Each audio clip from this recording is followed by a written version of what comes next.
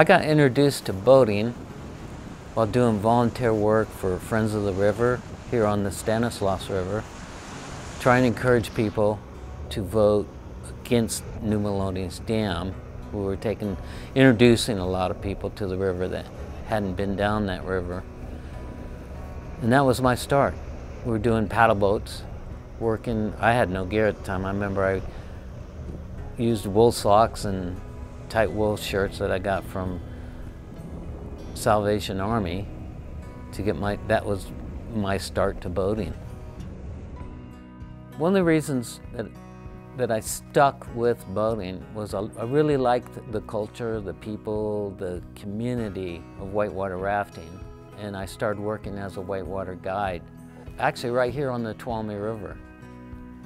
And, uh, you know, working my summers there freelancing, working for whoever needed a rent a guide that day. And on the Stanislaus, because we still had the Stanislaus then. So we did, they were day trips mostly. So we'd take people down the river, serve them lunch, and in the river there at Parrots Ferry. And that was my professional start to rafting. I was getting paid and picking up tips and living the life of Riley. It was pretty fun.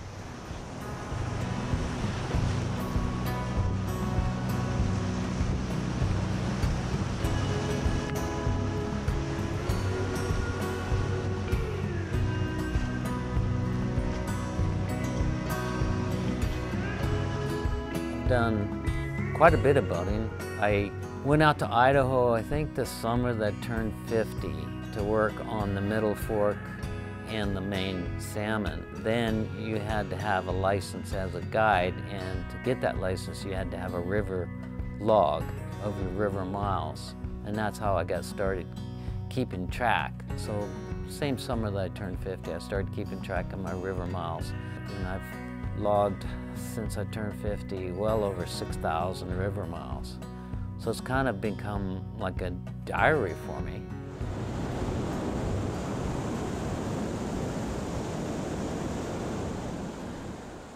So the Tuolumne River is still my favorite river of all the rivers I've done, and I've done it the most. You know, I started probably when I was 30, I'm 68 years old now, so I've been running it 38 years. And I probably rode that river maybe 300 times, and with a rem remarkably few bad days on it. I've flipped boats there, and I really couldn't tell you how many times I've flipped boats, but I've never had to end up really bad.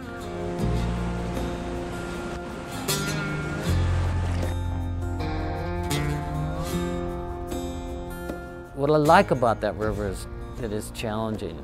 You have to pay attention all the time, and it's, I like that challenge, I always have.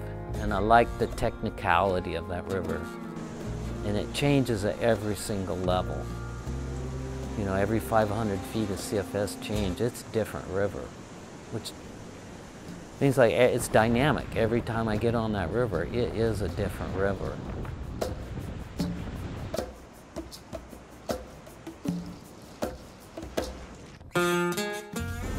Ten years ago, I started volunteering with the Forest Service there as a river ranger. And our focus there was to create support for that river and access for the public. With the lead of Bob Stanley, we built ramps at Meral's Pool and we built an access point for Cherry Creek Run because what used to take an hour and a half can now be done in 20 minutes. So a lot of them have thanked me and thanked Bob talking about how we extended their career because we shortened that grueling put-in, literally down to as little as 15 minutes. Some of the highlights I've had there at the Tuolumne, uh, one, for example, I got to take Randy Moore, who's the head of Region 5 of the Forest Service, down the river. It was a one-day trip, kind of hurried. It was a long day because the flow was I think below 1100 that day.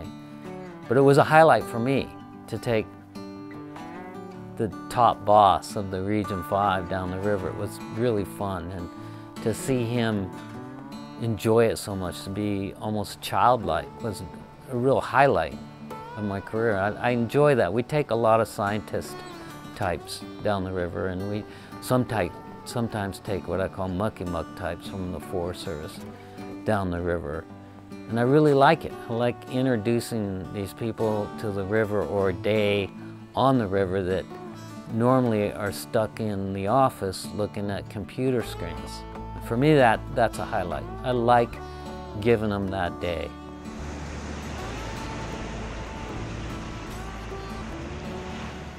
I think what pulls me into boating and keeps me whitewater rafting is it's a form of wilderness travel. In my mind, I'm, I'm flowing through the landscape, and that I find that very appealing.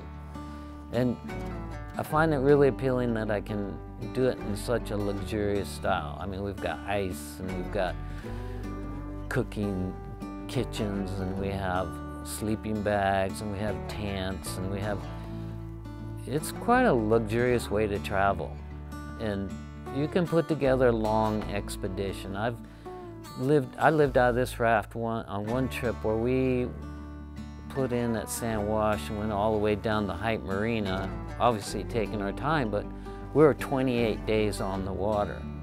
And I was doing what I call Tom Sawyering. You just, I'd see something I like and pull over and camp and stay there for as long as I want to, multiple days, pull up camp and head down river and in some cases only go another mile, see a place that I liked and pull over and, and do it again. It's a, it's a relaxed, slow pace that I enjoy immensely. I, well, I've been doing it almost 40 years now and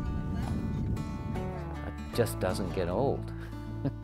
and I get together with my brothers and do it with them and I, that's very appealing. It's a much more appealing way to get together for me because we're doing something and we're all three of us pretty action orientated. You know, like to be outdoors, whether it be skiing or rafting or hunting. We like to do something when we get together. It's better than sitting on the couch and watching daytime TV, and there's that strong draw for me. It's, it's a physical activity I can do with my family. You know, I it's hard for me to imagine not boating. I know that, you know, that day will come when I can't boat anymore. I think, I don't know what that'll feel like. I, you know, I, I wondered like, what goes away first, the rafting or the skiing, or is it pretty simultaneous? And I don't know. Maybe that's the end of my life when I can't do that anymore. I don't. I, you know, sitting on the porch in the rocking chair doesn't have a lot of appeal for me. And when I was younger, I used to think that my end times would come either in a class five rapid or on some really steep, tight chute where the snow lets loose and buries me and who knows, maybe that still could be the way I end.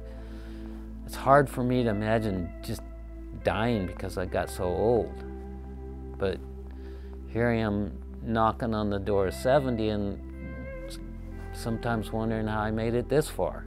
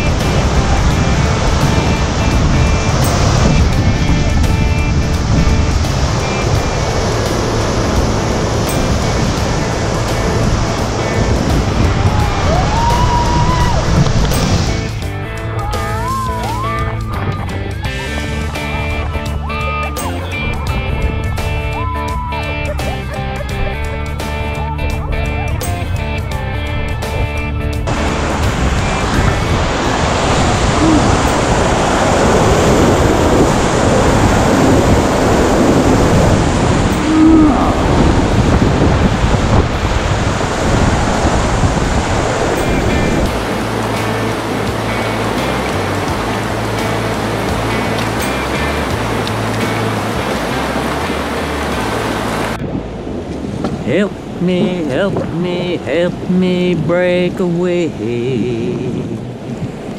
I got a big fat addiction to the white water. And I love to live so pleasantly. Live this life of luxury, blazing on the two wall of me in the summertime, in the summertime. Help me, help me, help me, Mr. Wizard.